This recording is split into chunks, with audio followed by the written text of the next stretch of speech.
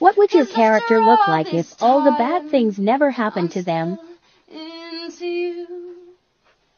I should be